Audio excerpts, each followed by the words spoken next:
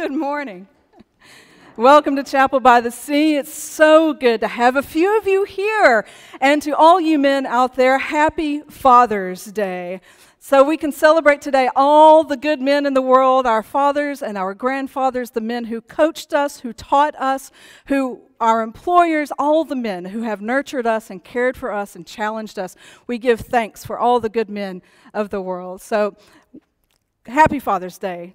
Here at the chapel, we're blessed with a lot of good men, and, uh, and so I'm thankful for all of you today.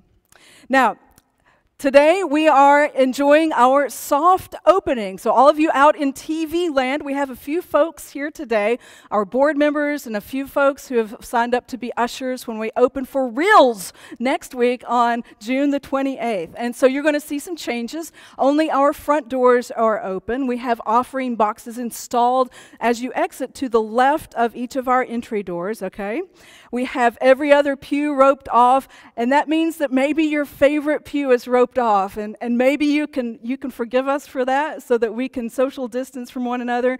Um, as we're watching the numbers go up and up and up here in Pinellas County as well as in Florida, we are taking another step and in asking you not to sing because singing is one of the most one of the riskiest things you can do with an airborne illness and so we have one singer and we'll sing from our hearts but maybe not from our lips today um, and just a word about the measures that we've taken to keep people safe during this pandemic.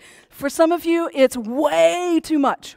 For others of you, it's not nearly enough, and you're probably not here and not planning to come for a while.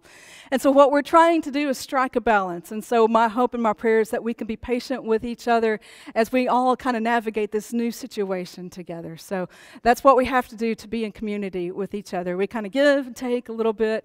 And even though some of the decisions may not be the decisions you would have made, that's, that's what we're doing right now until, you know, until the board can come together and find consensus around a new practice. So, in the meantime, we do have a few things uh, being offered by way of Zoom online. We have our comparative religion course taught by Joe Cregan Sundays at 9 o'clock as well as Wednesdays at 6.30. And we have Meditation Mondays continuing at 6:30 with Nikki Walton. And new this week, we are launching a pilot project we're calling sermon-based small groups. And so the idea is that you either attend church or watch the service online, and then you come together with a small group for 6 weeks and you explore. You go a little bit deeper into the scripture text, a little bit deeper into some of the uh, the concepts that I bring up in the sermon. Um, and so this week, we're launching a group for women only. It'll be Tuesdays at 10 a.m. via Zoom. The facilitators are Linda Silram and Allison Norse Miller. And then a little later in the summer, we're launching a co ed group that will be facilitated by Reverend Dr. Ch- uh, Chuck Roost. And so you can sign up for those online, sermon based small groups.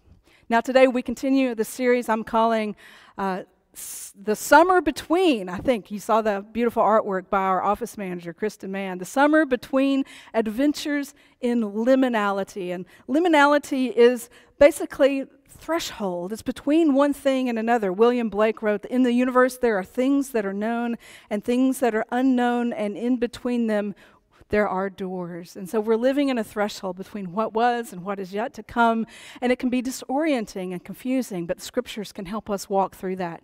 Today we explore the story of Abraham and Sarah and the liminal space that they found themselves in as they were following God. And so let us worship together as we too seek to follow God together.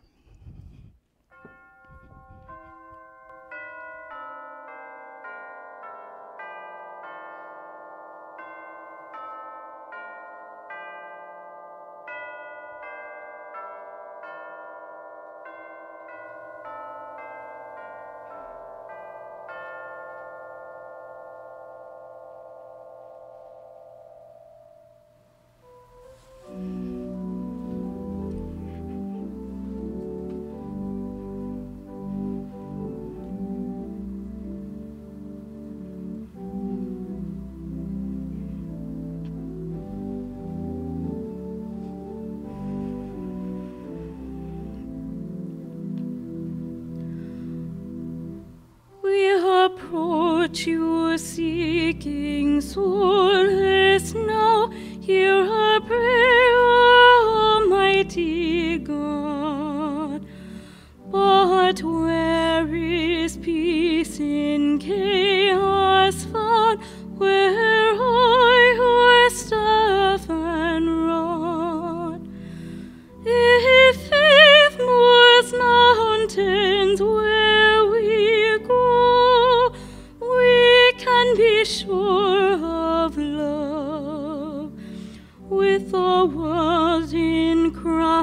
crisis, help us know that our strength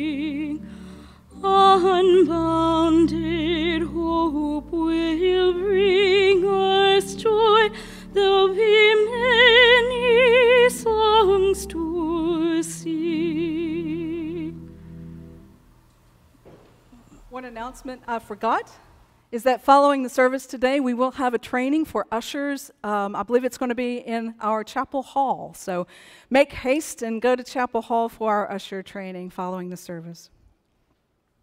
Hear our call to worship. There will be many songs to sing aloud together, O Lord. Until that day comes, we lift songs and prayers from our hearts. Meet us in our worship. Grant us strength and courage to carry forth the faith of our forefathers, offering our thanks and praise for your faithfulness throughout all generations. Amen.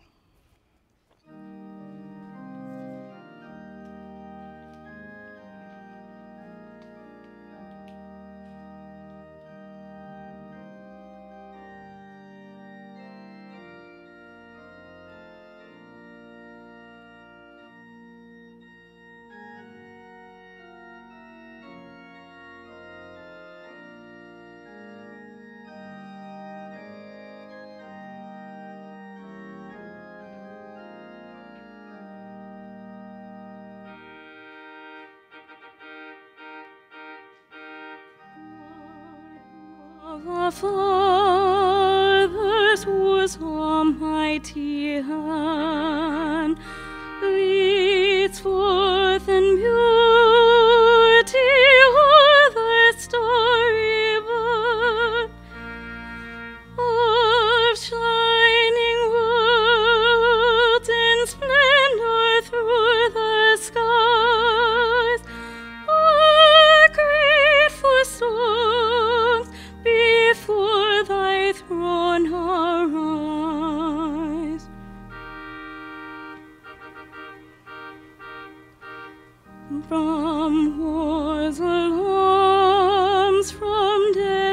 pestilence,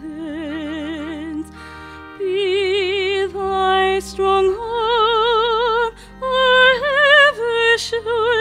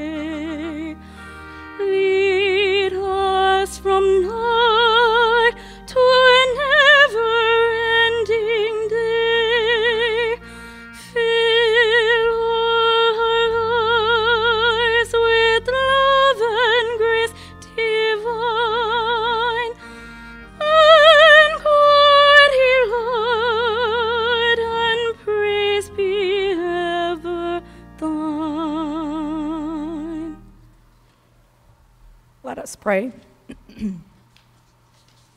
we praise you for creating this world in all beauty, for redeeming the world through Christ our Lord, and for sending us the gift of your Spirit to encourage, instruct, and sustain us. We long for your Spirit to work among us now, to inspire our praise, to challenge us with your truth, and to equip us for service in your world. Amen. Now, as we come to the time in our worship where we give back to God portion of what God has blessed us with, I want to thank you for your generosity in supporting the chapel through this season in this season of social distancing, I, I, confess I was worried. I was worried that our giving would kind of plummet, but, but you have been faithful. You surprised me, and for that, I am a little embarrassed, but I hope you'll forgive me. You have been faithful and good stewards of this blessing of Chapel by the Sea. Um, today, as we give our gifts, uh, there are still four ways to give. Um, you can give today in the offering boxes to the left of your exit doors. Uh, you can give by mail. You can drop off your gift to the church. You can give online, chapelbythesea.net on our give page. You can also sponsor, I don't know if you saw this yet, you can sponsor some of the items that have been required for our reopening, like the pew ropes and like the hand sanitizer I shot you with this morning. So you can sponsor some of those reopening items. You can also text give to the number on your screen or in your bulletin, and you can sign up for automatic giving the form is on the give page on our website. So may God bless you and may God bless the gifts that you will give.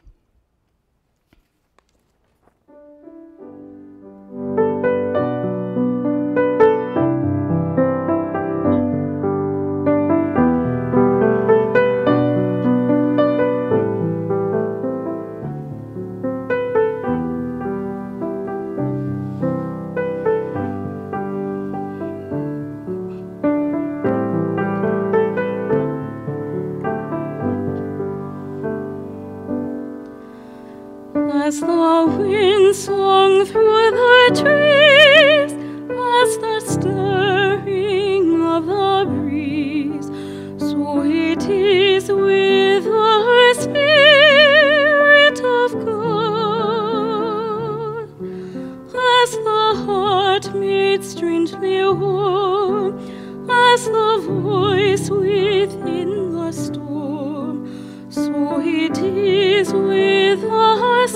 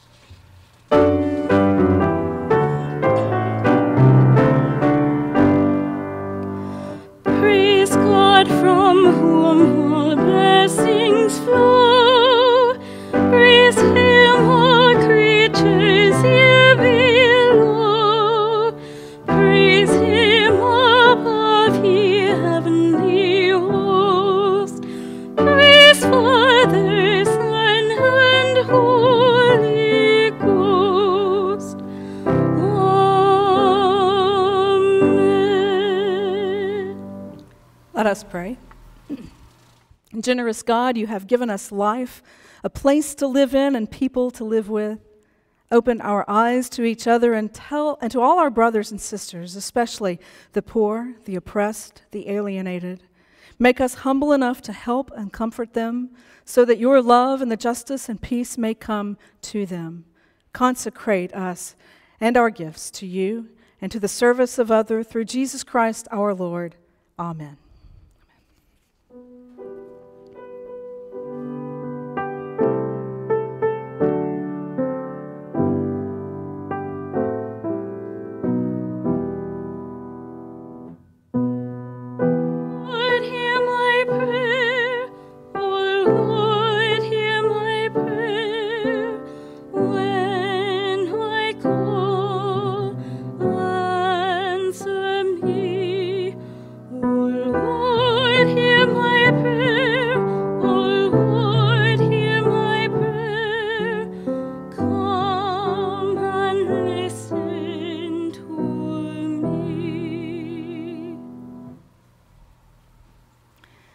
As we come to our time of prayer, I invite you to pray for Herb McLaughlin, who is recovering at home from surgery.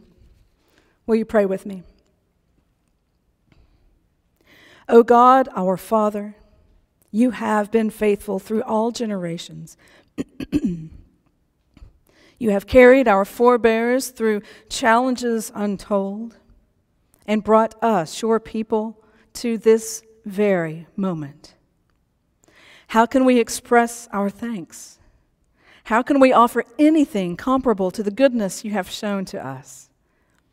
Open our eyes to see the bounty you have set before us, the immeasurable blessings each day holds, the grace that sustains, the mercy that restores, the love that defines who we are as beloved sons and daughters.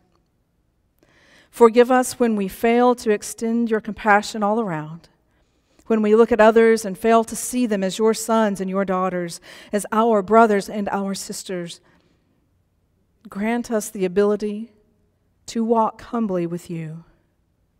Break us free from the anger that has taken up residence in our hearts, making us cynical, jaded, failing to place our hope and our trust in you.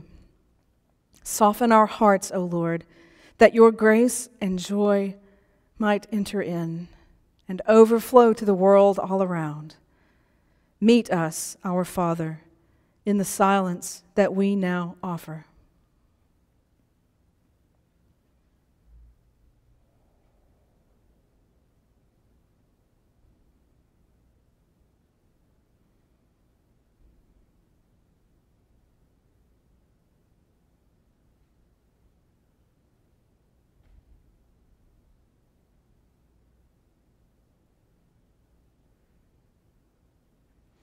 And with our hearts, but maybe not our lips, we offer the prayer our Lord Jesus Christ taught us to pray. Our Father, who art in heaven, hallowed be thy name. Thy kingdom come, thy will be done on earth as it is in heaven.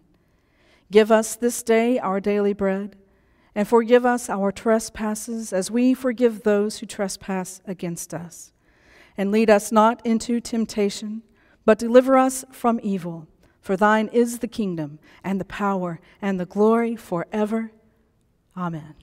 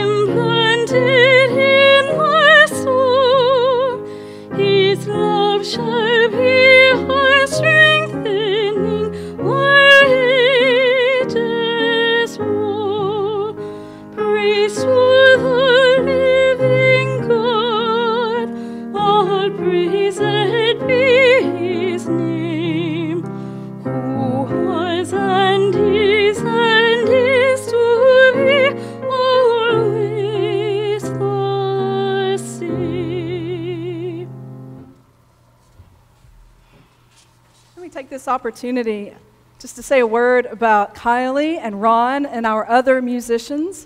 They have worked really hard to put some music together for us while we were worshiping, uh, pre recorded worshiping services. They, they used an app, they figured out how to use an app to put some music together. Ron has been working diligently to bring them together on Zoom, and, and, uh, and they're doing some different things with that. And so I'm so thankful for our church musicians, Kylie and Ron, and, and all the others for their faithful service to our church during this season.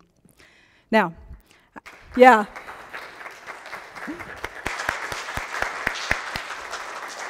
You know, that's one thing we can do. We can clap. All right. Our scripture lesson today are selected verses from Genesis chapter 17 and chapter 18. Hear now the word of the Lord. When Abram was 99 years old, the Lord appeared to Abram and said to him, I am God Almighty. Walk before me and be blameless. And I will make my covenant between me and you, and will make you exceedingly numerous. Then Abram fell on his face, and God said to him, As for me, this is my covenant with you. You shall be the ancestor of a multitude of nations. No longer shall your name be Abram, but your name shall be Abraham, for I have made you the ancestor of a multitude of nations. I will make you exceedingly fruitful and I will make nations of you, and kings shall come from you. I will establish my covenant between me and you and your offspring after you throughout their generations, for an everlasting covenant to be God to you and to your offspring after you. And I will give to you and to your offspring after you the land where you are now an alien, all the land of Canaan, for a perpetual holding, and I will be their God. Now, skipping ahead to verse 15. God said to Abraham, As for Sarai, your wife, you shall not call her Sarai, but Sarah shall be her name. I will bless her, and moreover, I will give you a son by her. I will bless her, and she shall give rise to nations. Kings of peoples shall come from her. Then Abraham fell on his face and laughed, and said to himself, can a child be born to a man who is a hundred years old? Can Sarah, who is 90 years old, bear a child? Now, skipping ahead to chapter 18, verse 11. Now, Abraham and Sarah were old, advanced in age. It had ceased to be with Sarah after the manner of women. So Sarah laughed to herself, saying, After I have grown old and my husband is old, shall I have pleasure? And the Lord said to Abraham, Why did Sarah laugh and say, Shall I indeed bear a child now that I'm old? Is anything too wonderful for the Lord? Thanks be to God for the reading of God's word.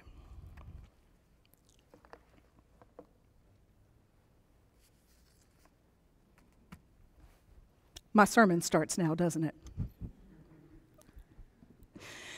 Nobody likes to wait, do we? We have to wait on so many things, though. Life kind of forces us to wait. We wait at red lights. We wait at the doctor's. I mean, there's a whole room dedicated to waiting at the doctor's office, right? And then there's waiting in line. Nothing is worse than waiting in line. But I've discovered a new trick recently. When you're waiting in line, all you have to do is stop, start coughing uncontrollably. You just say, Oh, no worries, I've been tested for COVID. The results should be back any day now. No, no, no problem at all. Nobody likes to wait, nor did Abraham and Sarah our, our, our hero and our heroine of the story today. Abraham and Sarah. Now, when we first meet Abraham and Sarah, it's in Genesis chapter 12. Now, I didn't read you the whole expansive story of Abraham and Sarah. I encourage you to go home and do that. But it begins with Genesis chapter 12, where we first meet Abraham and Sarah. Abraham at that time is 75 years old. Sarah is about 10 years younger at 65 years old. And God says to Abraham and Sarah, I want you to be a great nation. Follow me to the land that I will show you. And they kind of uh, are like, okay, whatever, God. 75 and 65, whatever you say. And so Abraham and Sarah, they pack up all of their belongings, all of their possessions, and they had slaves and all kinds of properties and animals, and they, they moved the whole lot to the land that God would show them. Now, fast forward a few years and a few chapters later. Now we're in Genesis chapter 15. And Abraham and Sarah and all of their people and all of their animals, they are now in the land that God showed them, just as God promised. But no children. A great nation had yet to be born to Abraham and Sarah, and Abraham gets frustrated. And he says to God, you can kind of imagine him kind of shaking his fist up at heaven. You said I would have an heir, and I have no heir yet. No children have you given me, God. And God said to Abram, Come outside, step outside your tent. And so Abraham stepped outside, and God said, Now count the stars in the sky if you can. Your heirs, your descendants will be as numerous as the stars in the sky. That's chapter 15. Now, by chapter 16, they're even older. By chapter 16, Abraham is 86, Sarah is about 76 years old and they're tired of waiting. Wouldn't you be? 76 years old, still haven't had the baby that God promised? 76 years old, and so Sarah decides to take matters into her own hands. And so she offers to Abraham one of her slaves named Hagar. Here, Abraham, have this slave so we can have an heir by her. And Abraham, maybe not being quite the man of valor that we want our our hero to be, he says, Okay, that sounds like a great idea. And so, even without the help of a little blue pill at 86, Abraham and, and Hagar have a son. His name is Ishmael. And it is widely thought that Ishmael is the father of the Arab nation the father, forefather of the prophet Muhammad. It is widely believed that because Sarah took matters and Abraham took matters into their own hands, that the conflict in the Middle East that we've had for centuries was a result of this decision to not trust God and to take matters into their own hands. But we're not much better, are we? When we want something, we want it now. I want it now. Delayed gratification is not something that we're good at as a culture, is it? There's a, an old study, I think it's from 1970. It's called the Stanford Marshmallow Experiment. You may know about this from your sociology class way back. Researchers took kids and they set them individually in a room without any distractions, and they allowed the kids to choose a snack. I think one of those snacks must have been a marshmallow, right? And they told the kids, you can have one marshmallow now. Or if you wait 15 minutes, you can have two marshmallows. So the researcher left the room. There's videos of, of kids kind of going crazy, doing whatever they can to keep their eyes off the single marshmallow, off the temptation that's on the table. And the researchers discovered, as they followed the kids later on into life, that the kids who could wait the 15 minutes for two marshmallows would have better life results, including better SAT scores, better um, academic achievement, lower BMI, body mass index. Now we know why Rhonda can't wait for two marshmallows. I got to have my marshmallow now. Delayed gratification, not our forte. Just this week, as we've been, you know, uh, thinking about this pandemic and been locked down for several weeks now, and, and, and social distancing and masking, all the things, right? And then those, re- those are relaxed and we're able to go out into society. And we're still told to keep social distance and wear a mask, right? When we go out, CDC is telling us these things. But just this week, Pinellas County released a picture that was taken last Saturday in St. Pete. Have you seen it? It's of a packed bar doesn't look like there's great circulation, and it is jam packed. Not a mask in sight, shoulder to shoulder dancing and drinking, and it looked like a great party. I just hope they're having fun 14 days from now. We want our party. We want it now. We want our nightlife, and we want it now. Delayed gratification isn't something most of us are real good at. So, what do we do when we find ourselves between want? We want a vaccine, right? What do we do between want and fulfillment? How do we live our lives between what we want and what is yet to be? What do we do with that? Well, I figure we have two choices. First of all, we can take the pessimistic view, we can become jaded and cynical. As the story unfolds in, in the book of Genesis about Abraham and Sarah, we kind of fast forward now to chapter 17, where we picked up our reading for today. And do you remember how old Abram was in this story? 99 years old, and Sarah was 90. And God said, I'm going to give you a kid. And they were like, ha, ha, ha, Good one, God. They both laughed, didn't they? Was their laughter joyful laughter? To me, it appears to be cynical laughter, jaded laughter, the kind of laughter you offer when you hear something that's unbelievable, ridiculous. yeah, right, God. I'm 99, Sarah's 90. We're going to have a kid now, whatever. And so that's the, that's the posture that Abraham and Sarah take in this chapter, in chapter 17. Now, it's been 25 years since the Lord first told them that they would have an heir. And probably they wanted children some 40 years before that. So, total 70, probably about 70 years that they've wanted children. So, yeah, they were a little cynical. Could you blame them? You know the recipe for cynicism, right? You take one part disappointment, and one part hopelessness, two parts anger, a dash of bitterness, you sprinkle a little contempt on top, and you bake it for a lifetime. That's the recipe for cynicism.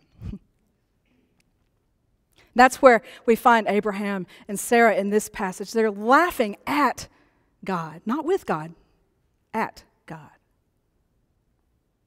But then, Fast forward to chapter 21. Let's see what happens.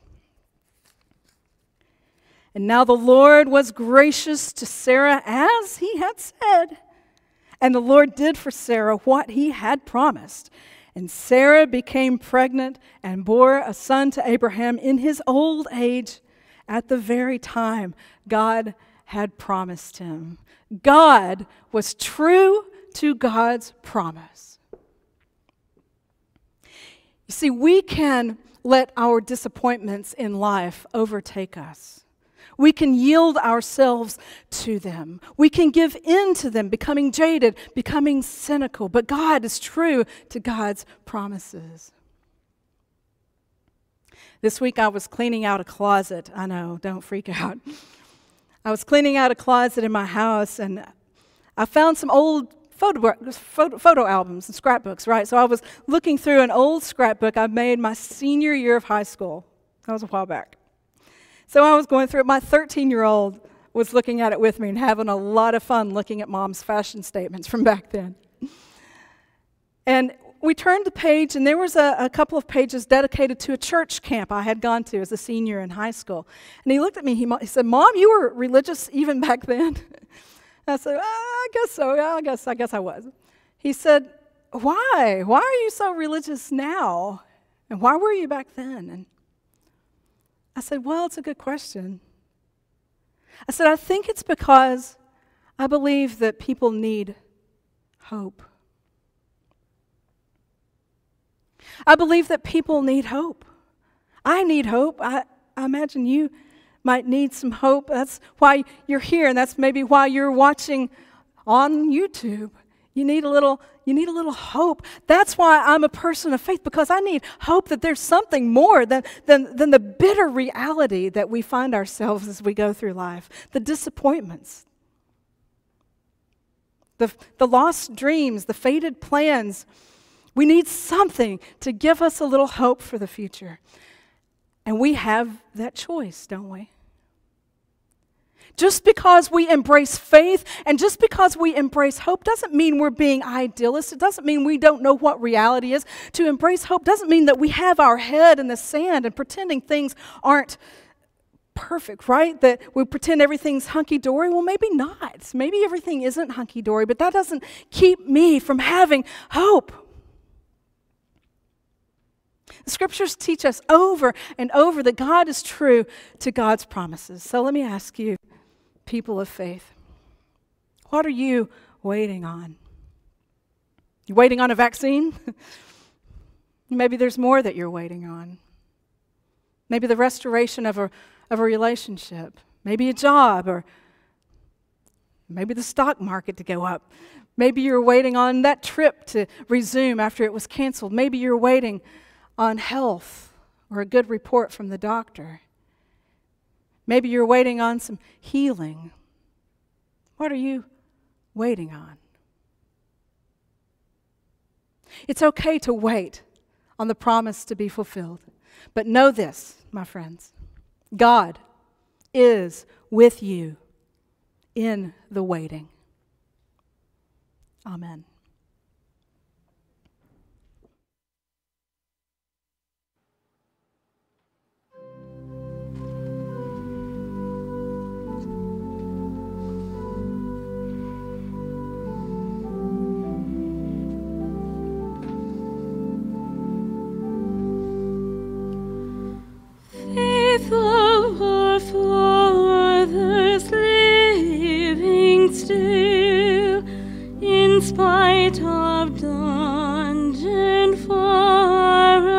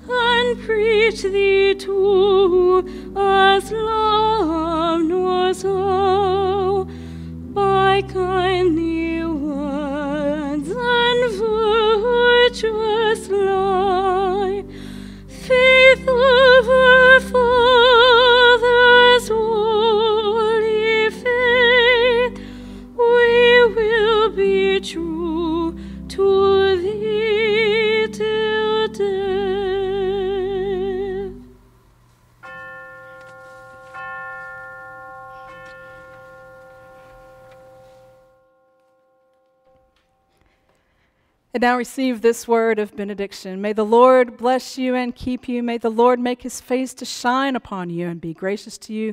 The Lord lift his countenance to you and give you peace. Amen.